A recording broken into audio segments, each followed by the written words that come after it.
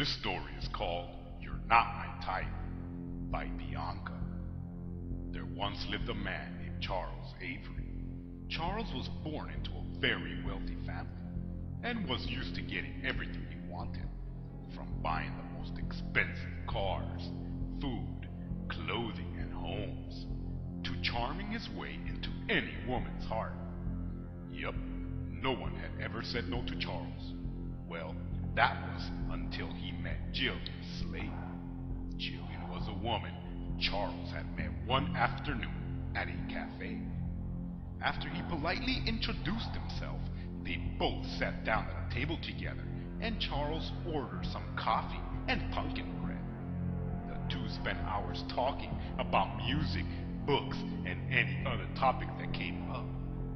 Time flew by, and soon it was getting close to the cafe's closing time. Jillian thanked him for the food, the drinks, and the company, and was about to leave when Charles grabbed her gently by the hand and said, Jillian, I had a really good time with you this evening. I'd like to get together with you again.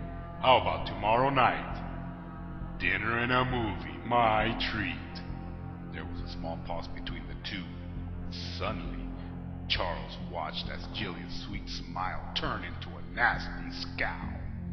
I'm sorry, Charles, she said. It's just that, well, you're just not my type, she said angrily.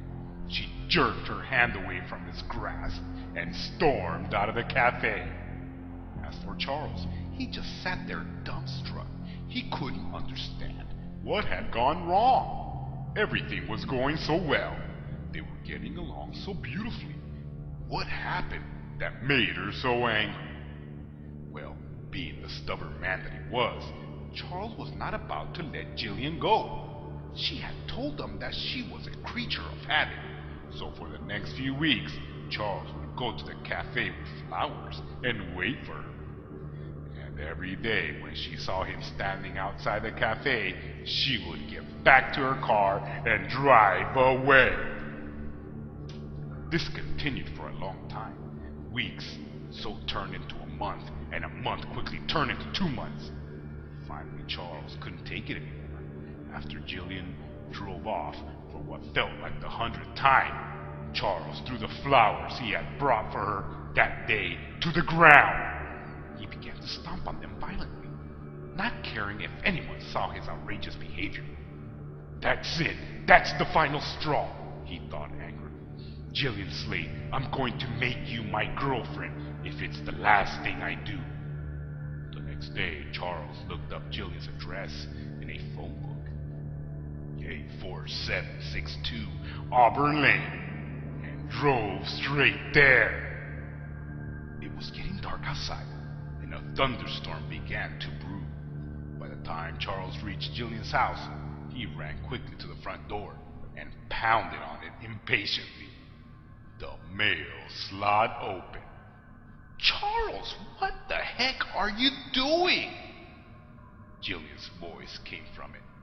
Charles got on his knees so that he could be at eye level with the mail slide. Jillian, he said, I don't understand why you don't go out with me. We had such a great time together at the cafe. We obviously have a lot in common. We enjoyed each other's company. I don't understand what went wrong. Why won't you go out with me? I already told you, Charles. You're not my type, she said calmly. What is your type?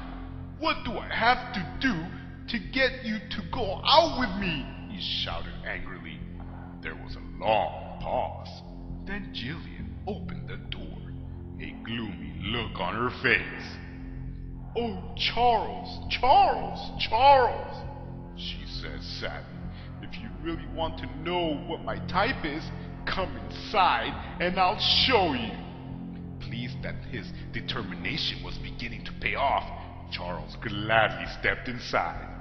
See that door at the end of the hall? She said, closing the door. Yeah, he said, looking down the hallway in front of them.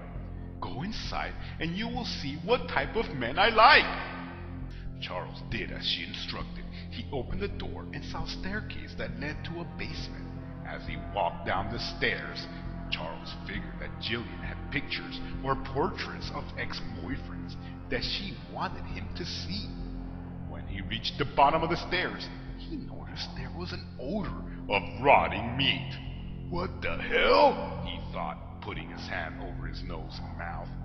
Next to him on the wall, he saw a big light switch and flipped it. The lights came on, and to his horror, he saw the bodies of twelve dead young men, some nailed to the wall, some hung upside down from the ceiling, and others in wooden boxes on the floor.